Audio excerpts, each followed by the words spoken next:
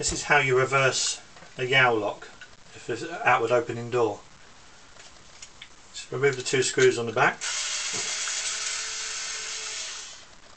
Keep hold of the plate because sometimes the spring will make it fly out.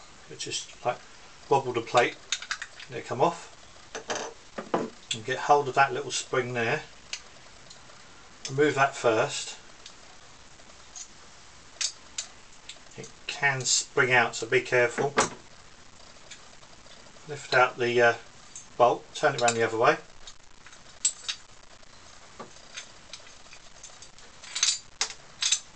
So it's now the wrong, the other way, around the wrong way, sort of. Spring back in.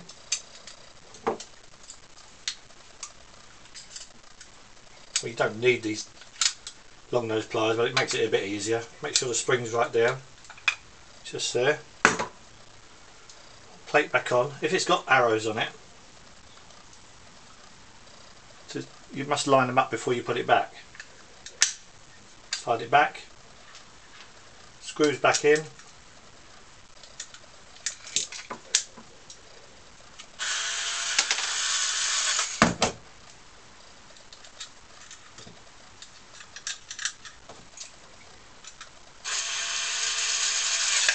That's how you reverse the Yale lock. It still work on the latch and everything.